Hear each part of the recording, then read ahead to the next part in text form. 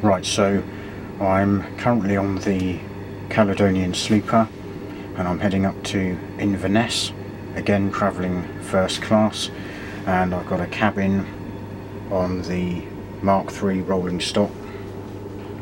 Um, so we have a bed which is here and we get a Nocturne magazine.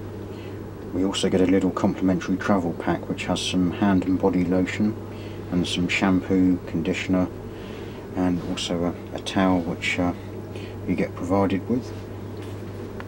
We just flip round here.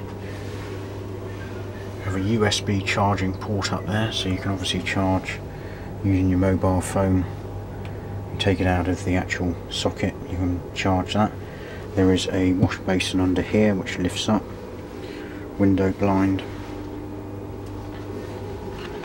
We have a mirror there and we have coat hangers provided. And another mirror there. There's a lock on the door and we have a temperature air conditioning control and a, a light button for the attendant and various lights um, buttons there.